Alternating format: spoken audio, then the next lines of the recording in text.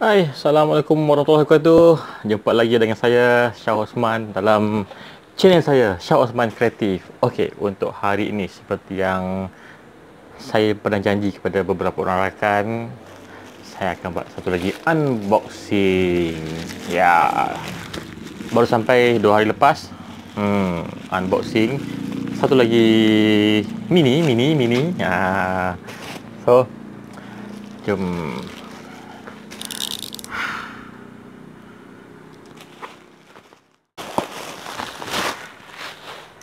So, orang kata unboxing dan jangan ambil tempoh yang panjang. So, tadi saya dah stop video ni. Ha, saya sekarang saya sabur recording. Sebab kalau saya buat recording panjang-panjang nanti ada orang meluat. Sebab ada orang pernah cakap recording janganlah sampai 2 minit. Ha, so saya cepatkan proses. So, saya agak kelam kabut. Ha. Oh, ya. So, unboxing. Unboxing. Kita keluarkan dari kotak. So, inilah dan saya diberitahui um, tak tak pasti berapa inci rasanya mungkin dalam 30 hmm mungkin dalam 30 30 inci. So warna hitam. Sebenarnya kita terpakai. Okay, saya beli second hand daripada seorang seller di uh, Shah Alam tak salah saya. Bukan lah kat Shah Alam dia akan cakap anak dia beli untuk anak tapi anak dia dah tak bukan anak dia tak, dah tak nak tapi anak dia tak minat belajar main gitar So, dia nak jual lah. Mari kita lihat.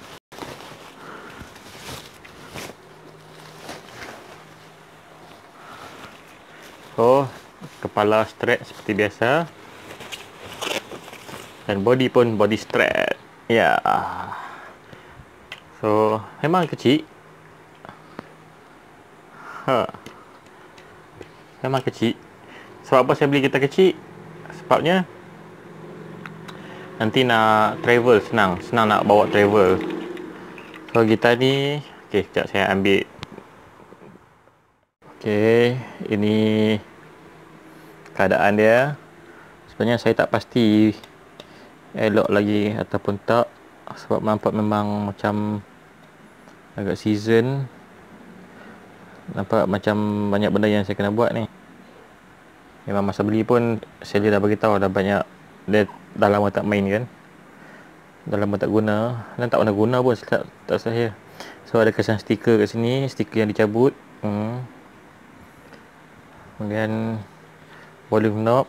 Nampak macam ok boleh pusing lagi. Tapi tak pasti macam mana. So gitar string yang berkakat sekat saya pun. So dia punya pickup kalau tengok sini dah memang berkarat saya tak pasti dia berfungsi atau tak lagi. Dia punya neck asalnya guna kayu maple. Hmm. dia punya tuner ok kalau tengok sini memang yang ni saya akan tukar ni. Ha, nampaknya mungkin bulan depan saya kena bawa pergi ke kedai kedai kedai kita untuk tengok-tengok repair-repair apa yang patut. So ini hmm, hmm. So ini kesan kesan cala. Tak pasti kesan cat ataupun cala dan dia dapat cat daripada sana. Daripada yang dilanggar. Tapi nampak macam eh kan warna merah kan. Nampak macam color asal warna merah kan. Hmm.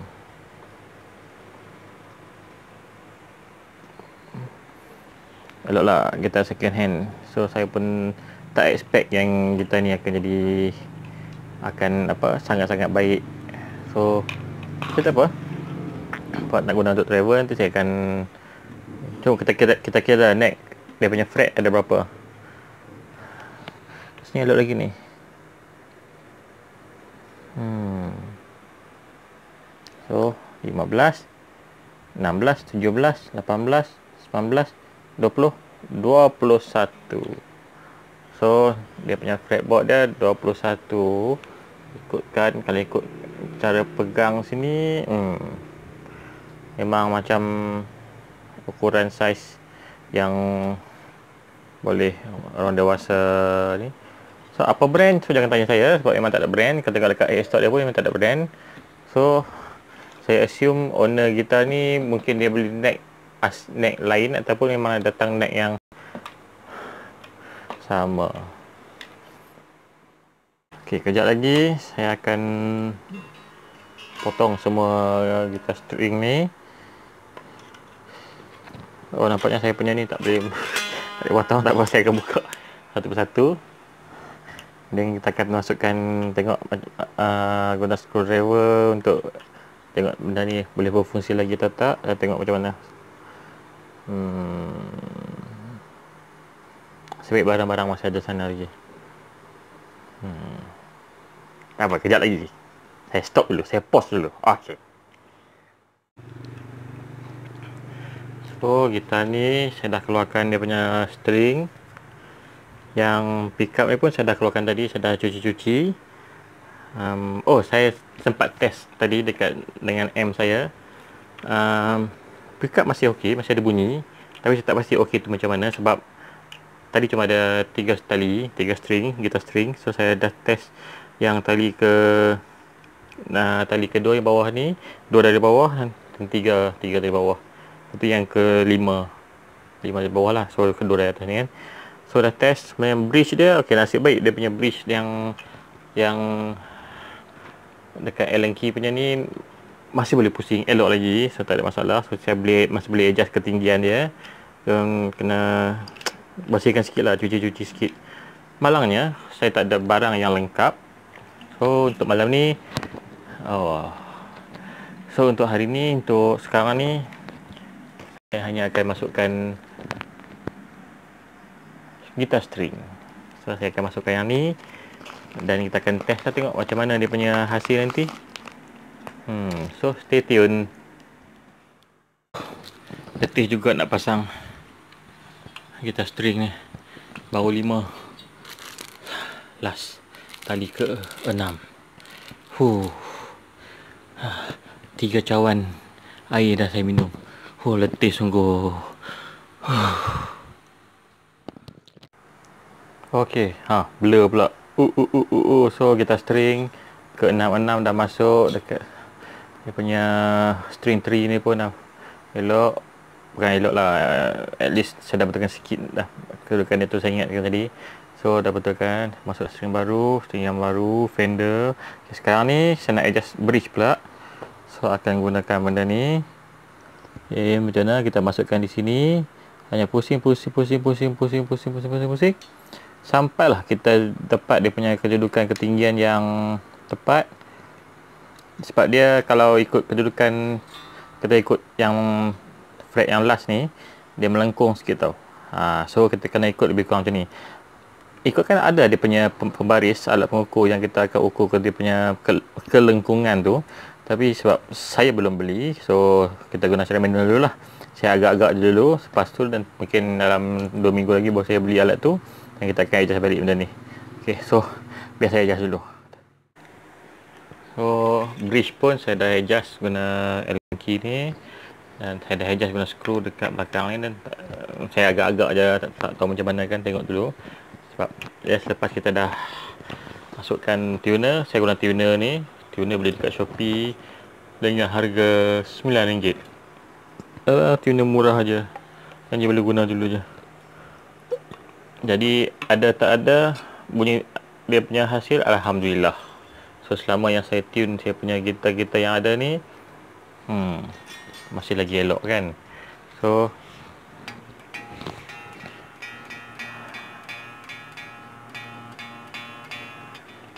so saya tak dapat pusing. Keras gila.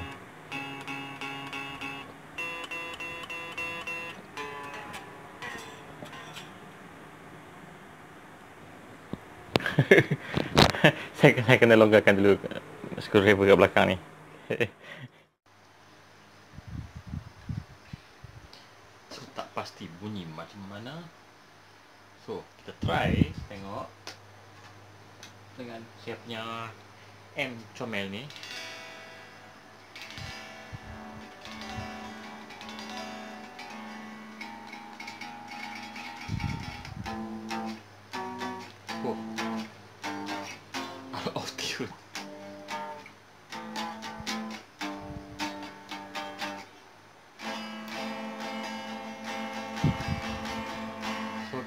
ya, dia string dia tak dapat nak stretch terlalu kuat. Sebab saya buat uh, tune.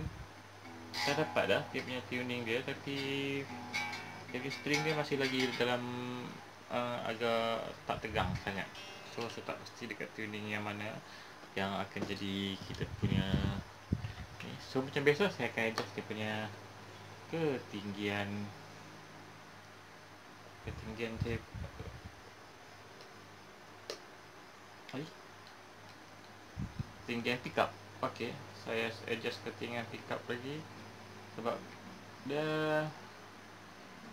Bawah sangat Terlalu rendah. So dia ada mm dia tu Yang Berapa mm Berapa mm tu? Uh, Kena ukur dengan pembaris sebenarnya. Tapi saya tak ukur pembaris Saya ukur Saya tekan kat sini Dekat string Saya tekan Saya tengok Okay dia macam Become dalam 2 ke 3 mm lah So dia jangan lebih 5 mm So, yang tu dah boleh guna punya.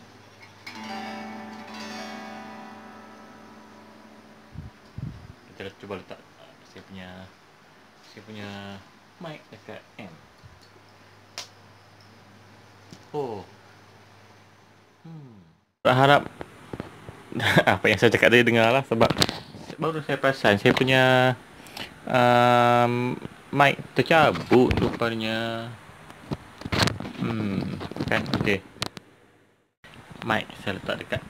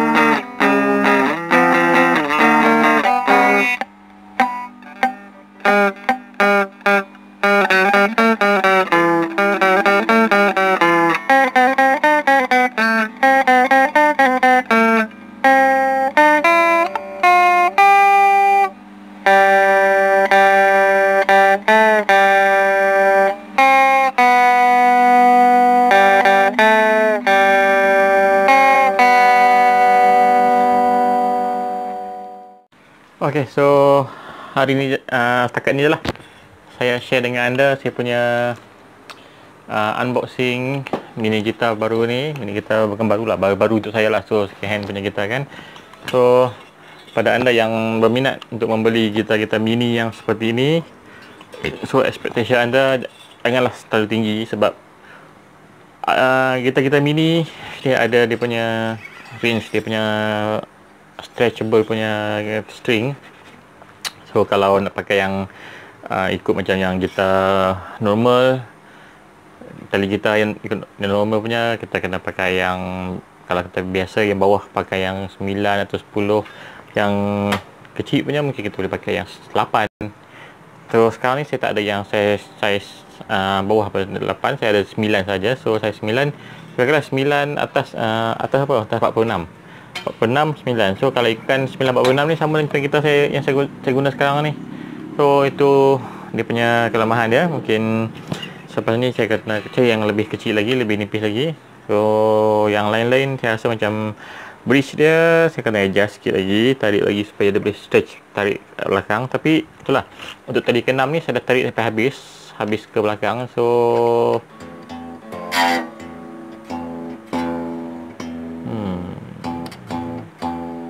Ah, so ni je lah.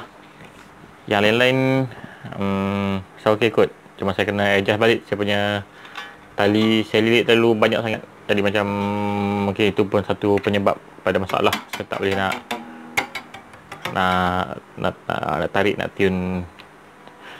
Jadi terima kasih kerana menonton dan jangan lupa untuk like, share dan subscribe. Ha, share dan cakap buruk pun cakap lah saya tak kisah pun janji anda suka video saya ni. Okey, jumpa lagi. Assalamualaikum warahmatullahi wabarakatuh.